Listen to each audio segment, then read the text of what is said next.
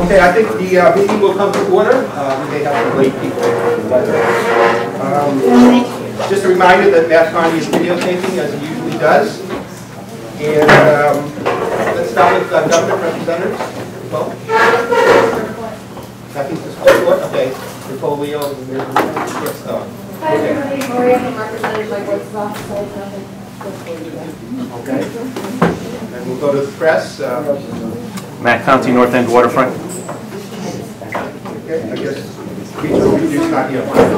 Uh, Phil apologizes, he could, he told me he could not be here, but I will pass on the information. Thank you. Thank you. Okay, we'll start with the president's report. Um, We have a full agenda tonight, by the way, so um, if you do have comments or questions, try to make them somewhat brief, but we have to be out by 9 o'clock. Um, And also, if you can stay from 8 to 9, we'll have a presentation about um, Dr. Joseph Warren, who was a kind of a hero of the Battle of Bunker Hill, and next week, Monday, is Bunker Hill Day, so uh, very timely. Other than that, uh, Robin Reed, who's our representative to the uh, Greenway, has gathered the answers to the questions that we had from her last month, and um, we don't have time this month, but next month we'll make time and she'll present the answers to us. Uh, I want to remind you, there's a U.S. Senate election on the 25th of this month. Um, Ed Markey, the Democrat, and Gabriel Gomez, the Republican. Uh, I'll be voting right here. Um, Ward 3, Precinct 2, and Jason, what's that, 3 and 1? Three two. Three one is the commercial street, Oh. and three four is the Nancy Columbus. Please get out, your special elections, not a lot of people go.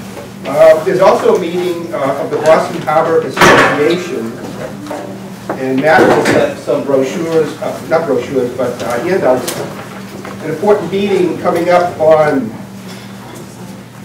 Wednesday, June 19th, which is next Wednesday, 6:30 at Battery Walk, uh, flooding prospects which is uh, important for the future, especially if they live on the waterfront, in terms of what the are and what they might do so that's important. Um, I also want to announce that our Clean Streets Award for June is going to the children of the Nazzaro Center. Um, On the night before Boston Shines, managed to get to some of the parks and do advanced cleaning. I think the Little League Field, and Prado, and uh, Polcari Playground.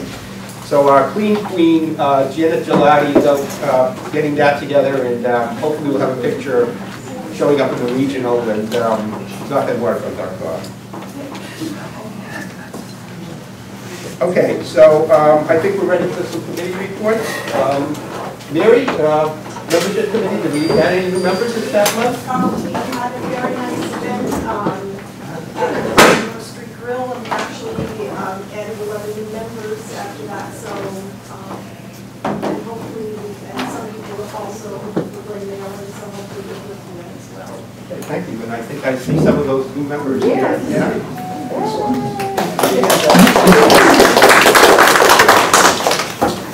Okay, parks and open spaces?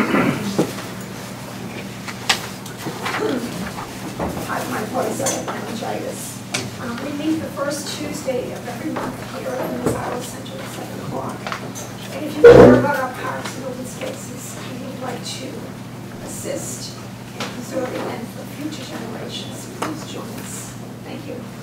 Thank you. Zoning licensing and construction Dave? Uh, Yeah, there is a ZLC report at the front desk, I hope all of you picked it up. As usual, there's a lot in there. The the ZLC reports are never complete because we can't possibly put into them everything that's going on in the neighborhood.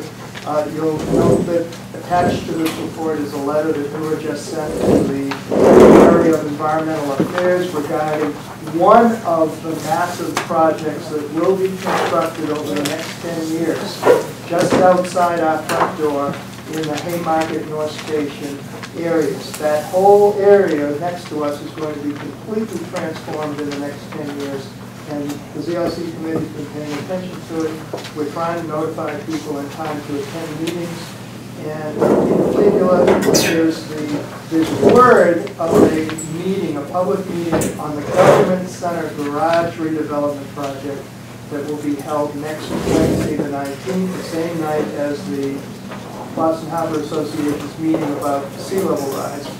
Uh, But there's only word of the meeting, no formal announcement has been made, and I think we're also going to send a bit of a protest to them saying that not enough uh, advance notice has been provided to the community. I mean, it would be like a half a week's notice for a very important meeting. So we're going to ask them to put that meeting off if they can. Uh, But please take a look at the ZLC report. Thank you. Okay, now our first voting item is for uh, Four Winds Restaurant, which wants to add a uh, disc jockey in karaoke. Uh, Do you know if they're represented here tonight, Dave?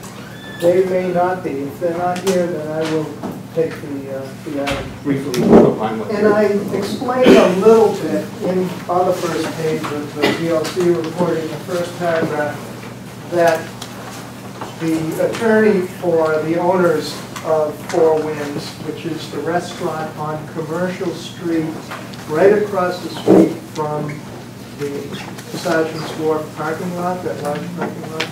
The restaurant's been there for many years, and apparently they've had a live entertainment license for many years, and that license has included such things as dancing, games, such as trivia, I assume, and also uh, vocal, one vocalist, and up to five instruments are allowed there as well. So they already have the live entertainment license. Uh, They did come to us to be on the agenda of the ZLC meeting, and they were put on that agenda, as well as the meeting tonight. And then they decided not to continue the community process because they learned from City Hall that for entertainment licenses, community process is not required. But we felt, the executive committee felt, that live entertainment licenses in the neighborhood are uh, of high interest and concern to residents, and that we would be shirking our responsibilities by not putting it on the agenda tonight. And if we were to ignore this application, it would essentially be uh, effectively sending the impression of no objection. And we certainly didn't want to do that either, but we do want to bring it to the discussion and a possible vote this evening in spite of the owner and owner's attorney not being here tonight. Again, the license has been in place for many years and has been operated for, for many years. There was no one at the meeting, correct me if I'm wrong, there was no one at the meeting that was in a butter to the establishment. So apparently, there are, we have to assume there are no major concerns. Uh, At the same time, though, uh, while we did advertise that meeting extensively, it is not clear that abutters were notified properly about that meeting. And I say that because we never received the documentation. We, we always require applicants to submit a copy of the notification that goes to neighbors, as well as the list of addresses, and we did not receive that information uh, at the ZLC meeting. I have not received it ever since, yes. Yeah, I am in a butter. I'm in Okay, 50 good. Street, so I share the alley with the Four Winds. Good, and we'll allow you to uh, speak in Okay. just a minute. I'm really happy that you're here. Okay. Uh, So, if the, the license has been there for quite a while, they started to have karaoke and DJ at the establishment, according to them, thinking that it would, that it was allowed under the existing live entertainment license, but that entertainment license is very specific and does not include at this time DJ or karaoke. Those must be specifically added to the license, and that's why, that's the, the substance of the application that's before us. The karaoke had been operated there every Thursday night, one night a week, for a while, until they realized that it wasn't covered by their license. Uh, They are seeking karaoke. In the application, it mentions one night a week, Thursday nights. Uh, It mentions the DJ would accompany the karaoke, and the DJ would also be used as part of the functions that they put on in the upstairs function room. The upstairs function room holds about 100 people. The downstairs restaurant bar has a capacity of 60 people. Um, And I don't think there's much more, I, oh, one more thing, they do have a allowed closing time of 2 AM in their alcohol license, and according to the owner, they do operate until 2 AM. Now, that means they can serve up until 2 AM, and patron, patrons must leave no later than 2.30. and I, I assume that they're operating that way. Actually, we were told that they are operating that way seven days a week. Victor? Uh, I guess I'd only add that the hearing before the mayor's office of licensing is uh, next Monday, I believe. Yes, Monday, Monday.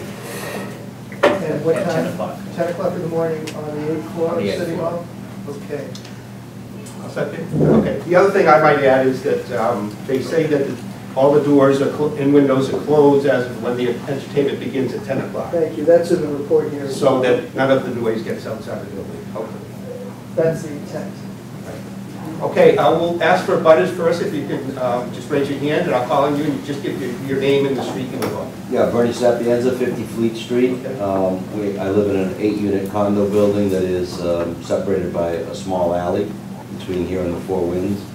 Um, Because of no smoking allowed indoors, one of the, um, one of the noisy elements of that, of living next door there is that there's constantly people till 2 o'clock in the morning congregating outside the bar smoking. And they're chatting and talking away and what have you, carrying on. So that's something that you do here, living next door. Um, You you buy a condo and you already know the bar is there, so, you know, it- it is what it is. Um, The way it's being presented here, it's not being presented as if it's gonna get much louder. Sounds like they were already kind of doing some karaoke, it sounds like they were already kind of doing disc jockeying. All they're doing is going to get the license to do it appropriately, is what it sounds like here. Under that, obviously, it wouldn't be such, it wouldn't be such a big deal. Yeah, is, yeah, is this an addition, right? Is this, a- this, does this uh, license add additional amount of nights per week that they could operate? in, No, or- uh, it is adding the types of live entertainment, two types, karaoke one night a week, and apparently that's been Thursday nights, and also DJ. The DJ would be there on Thursday nights with the, to accompany the karaoke, and the DJ would be there, according to the owner, a couple times a month for um, functions. Yes. Yeah, and the function is upstairs, so that gets a little bit louder if you live next door because there's a lot less separating the bottom floor from the top floor from, from the noise table. But if the windows and doors are supposed to be closed during this, in order for this to happen, uh, you know, I, I don't know what to expect from, from a noise level. I mean, at the moment, uh, you know, you, you buy a condo next to a bar, you live next to the bar, and that's, I guess it is what it is. But if it gets louder, I would, I would like to know that in advance and try to see if I could oppose it getting louder or later. And they're not Can't get any proposing, later, I yeah, don't they're not proposing any later. uh, Okay, so 11 is when the proposing music anything stops. different. No, no, it starts, I think, at 10, they go until 2, I think. I don't know how late the karaoke will It says go. here that the establishment serves until two AM, but live entertainment no later than eleven PM. Right. Oh, really? That's what it says here, what you wrote. I thought they started No, I said that the, uh, no, what I said was that the windows must be closed during live entertainment uh, or by 11 PM. So that, so whether or not, during live entertainment, the windows and doors must be closed. Whether or not there's live entertainment, the windows must be closed at 11 PM. Oh, And that's what's in the current entertainment license, and I assume that that's not going to change. I see. Uh, Uh, I have the license in front of me. It says all windows and doors must be closed when live entertainment begins or no later than 11 PM unless otherwise restricted. But it doesn't address the end of it. Simply it's a 2 AM license. Yeah, well, I mean, again, again, this is being presented to some degree, it's being presented of as, we were doing it mostly anyway, we're just going to go go get the official license to do it. That's basically what I'm hearing, and in that, in that case, then it won't change, it shouldn't change all that much from what it is now. Is that, am I reading that right? Is I that- think so. Yes, that, Okay. that's the way that they were operating for at least several months, I, uh, without the licenses. And then, of course, they terminated it when they realized it wasn't legal. I have a question for the abutters though. You mentioned the noise outside the establishment. Have you approached the owners about the noise outside? No, just- I've always just assumed it was just normal course of, you know, Okay. of life. You live next to a bar, people go out and smoke, and they talk while they're out there. Yeah, I mean, I, I know them to be responsive business owners. uh, Okay. And I think that you should approach them and talk with them, and maybe there's something that they could do. Of Okay. course, we have a lot of uh, complaints about noise outside establishments, especially establishments that serve alcohol after midnight. Yeah. And it seems to be an issue that is not easily resolved even by the, the owners. Right. And now with the smoking ban, people go outside to smoke. Sometimes they hang out there. It almost becomes an extension of the bar Yeah. for smokers. Yeah, and in a four-foot wide or six-foot wide alleyway, it becomes, it echoes. It echoes pretty good. And that's usually where it takes place, but, Yeah, well, Okay. maybe they shouldn't be allowed in the alleyway. yeah, That's one way to mitigate the Yeah. noise that you're. that might help. Any other butters? Well, another question for the abutter, um, have they been a good neighbor in terms of closing windows uh, at eleven o'clock, do you know? Uh, I don't, I I can't answer that question one way or another. I, I know that they are a pretty good neighbor in that, you know, I've been in the bar a few times myself and stuff, and they seem like reasonably nice folks. But I don't, I don't know if anybody in my building that has gone to them to say, hey, can you cut it out or anything like that. I just, I I was concerned because when I saw this, uh, when I got this public notice that, that this was taking place, I'd be concerned if it became louder. I would be concerned if it became later, you know? You know, that's really kind of what I'm concerned. I mean, you know, like I said, I bought a condo next to a, a bar, it is what it is, and that's okay. But if it gets worse, and if I can have some hand in hoping that that doesn't, doesn't happen, then that's what I'm interested in finding out about. Well, it can't become later, but if they had not already been operating karaoke with DJ, I would say that certainly there's a potential for it becoming louder. But because they were operating that, and again, I don't live in that area, I don't uh, go to that establishment, so I don't really know what the level of noise is there and how it was affected when they added karaoke and DJ uh, several months or more ago. Okay, uh, any other questions about this uh, presentation? I I have just a question. I, I was aware that they had karaoke for a while. The, the DJ thing has me a little concerned, because I, I sort of think of them as two different, different things. Karaoke is sort of a nice thing to do with your friends and all that. DJ is a nightclub.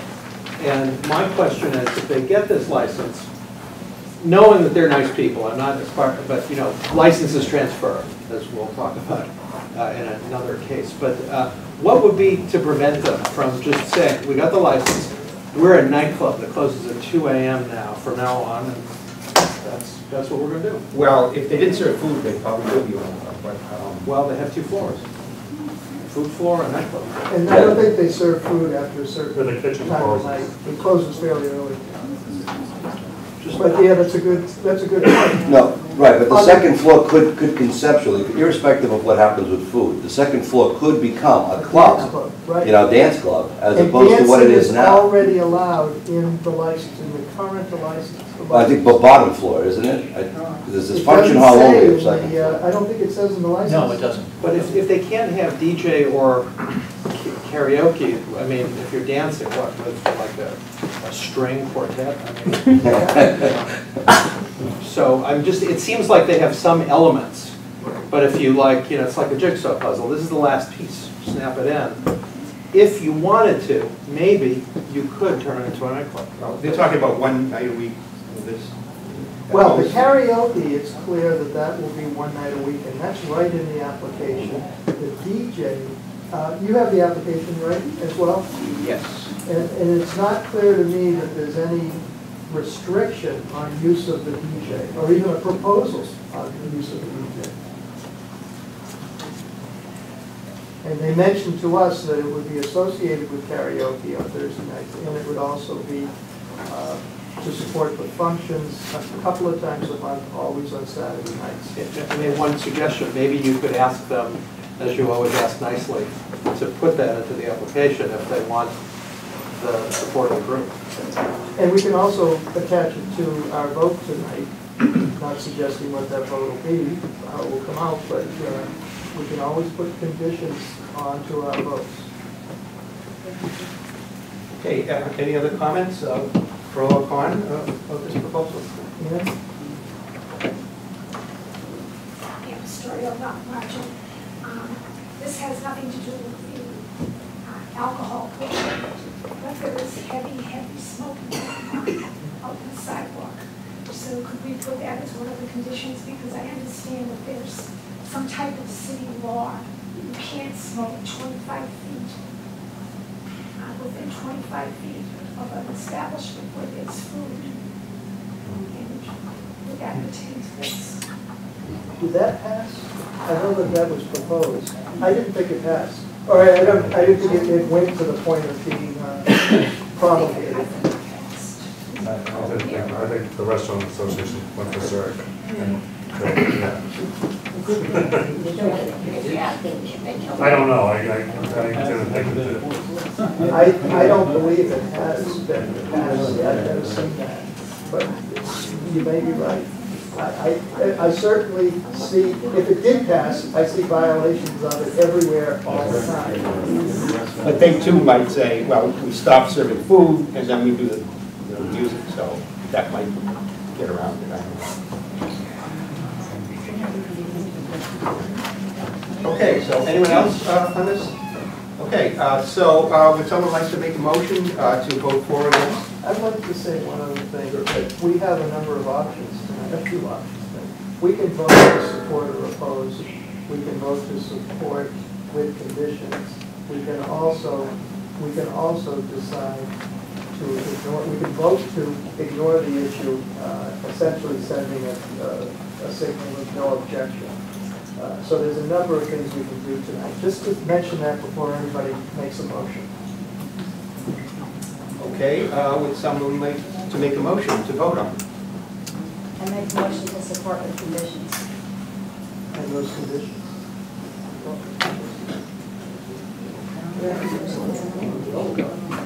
You'll have Conditions on the DJ? Perhaps what, what you said, that they said verbally. With Uh, karaoke, Functions a couple of times a month and with karaoke.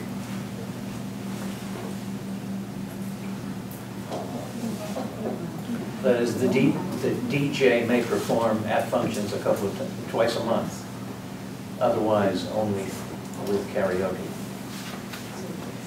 Is that what the condition would be? well, I was trying to character, I was trying to encapsulate what is verbally represented. Yeah. You heard the representation. yeah, I would, uh, I guess I'd split up the, the the floors and say that on the first floor, DJ should be only to accompany karaoke one night a week. And then on the second floor, it'd be used to support functions.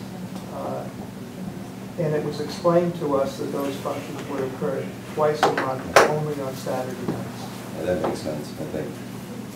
I mean, again, what you're trying to do is prevent it from becoming a nightclub. That's what you're trying to do. So uh, whatever way you have to word that to to get there, I guess that's the condition. And I know that they don't use, I I believe they don't use that function room very often, do they? Uh, No, it's- it's function, yeah, whenever they book a function only, right? But how often do you think It- that It's happens? not, it's not that often. Okay. And it's actually, it's a great function room too. It's a wonderful And they do a function. great job, so even though I'm being a stickler on what they said and what they wrote, I think they're great, but, you know, they could sell it, and then you could have, you know, you could have a nightclub as the next owner, so that's what I'd like to avoid. So the motion is to vote to support with conditions or oppose the the application for amending the live entertainment license to add karaoke and DJ. So the conditions are what now?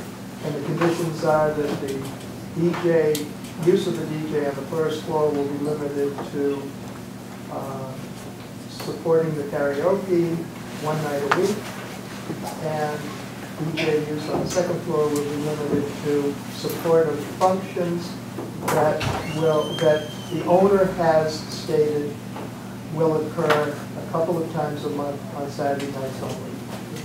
Okay. So we have a motion um, to vote for it on those conditions. Would someone like to second? Jason? Okay. We will um, use ballot number one, which is blue, and circle whether you support or oppose. 17 support and 13 oppose. So we'll write a recommendation letter with the conditions. that we voted. 17 for, 13 against. Uh, We've since been joined by uh, Kathy Grangelo of the uh, City Council La LaMattina's office. Do you have anything, uh, Kathy? Uh, just at the lights on Salem Street, are gonna start next, No, Val told me to start next week. they're gonna start putting the lights on Salem Street, it's gonna go from Cross to Prince, and then Prince to the end of the street. Um, Hopefully sometime next week, and the pavement's supposed to end by July first weather permitting on Salem Great. Street. So everything is done by July first? Weather permitting. No. Weather- Weather permitting.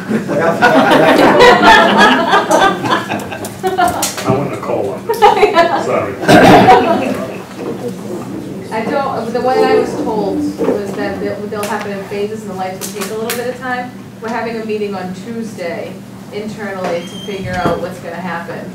So I, I, I haven't heard that it's all lights and pavement will be done by July first, Okay, well, make an announcement after. the meeting. yeah, maybe Kathy knows. Well, Sal just told I walked in here, I don't know. So it could be, but I heard the lights are gonna take a little while, so that could, So are there no lights on Salem Street? no, they're out. What they'll do is they'll take off and block the lights, and then they'll replace them, and then they'll move up to the next block, and then to the next block, and then to the next. Okay, the next item is uh, Strega Pizzeria, which is next door to Strega, and they would like to have their beer and wine license moved from uh, Nick's Deli to Strega Cafe. Sure. Good evening, my name is Bill Ferrolo. I represent uh, Nick Varano, who is the applicant for this application.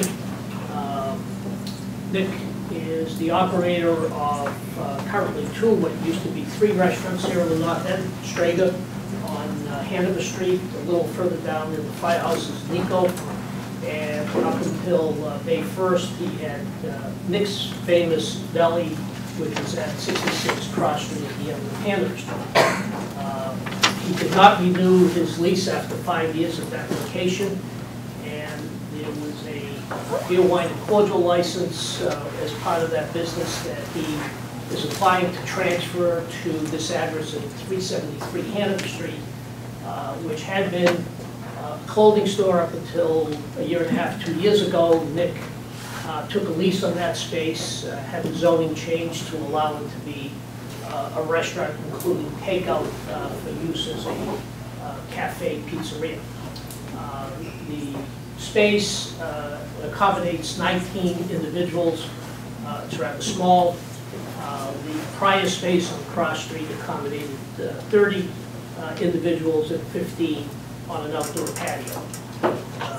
The service at the Cafe Pizzeria will be morning breakfast service starting at seven, meaning coffee and baked goods associated with early service. At lunchtime, we will start uh, a light service, pizza, salad, uh, sandwiches, things of that sort, uh, in addition to the coffee. The Coffee will stay all day from uh, when it opens until when it closes. And uh, he will also, in the evening, have uh, desserts added to the menu of the light foods as well as the coffee. Part of it is that, as you heard, Nick operates Strega Restaurant directly next door to this, uh, which is also a fairly small restaurant, and he's hoping uh, this him in two ways. One is that uh, dessert service can be taken here as opposed to in the restaurant, uh, freeing up tables in his restaurant. Um, And also, if people are waiting to enter, they can also uh, come into this establishment and have something light and uh, something to drink at the same time. We've agreed that that there'd be no service of alcohol without food, so this is not going to be someplace to go in just to have a drink. You will have to have something uh, to eat, not have either beer, wine, or cordials.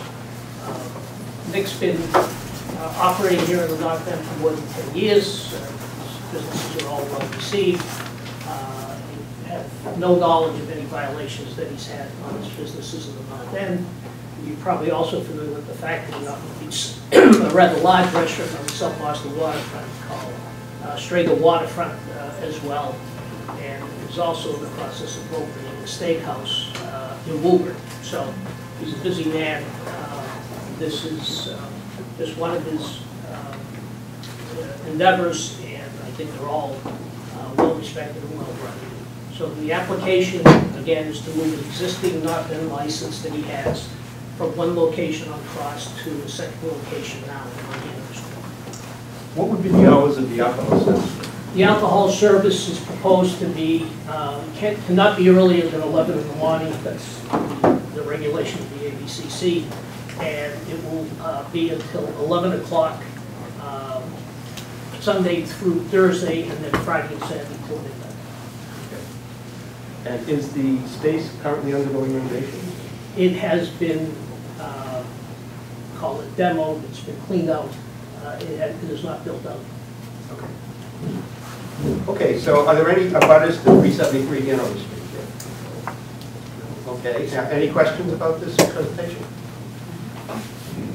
We have a quickie here. Uh, Would anybody like to speak for or against? Good, well, we'll go right to um, a motion to vote for. Make a motion to support. Uh, We need a motion just to vote. Okay, second? Thank you. Okay, we'll use the pink uh, ballot and circle either support or against. Uh, The vote is 18 in support and 12 opposed. So we'll write a letter to support the transfer of. Heidi um, would uh, like to possibly move their feast from Lower Hanover Street to the Crown. Go ahead. Good evening, folks. Joe Marano, Chairman of the Board of St. Joseph's Feast. Uh, At this time, due to uh, a lot of the negativity we received last Monday regarding our attempt to upgrade and move the festival to the Prado, we intend to withdraw. Thank you very much. Do you have any questions?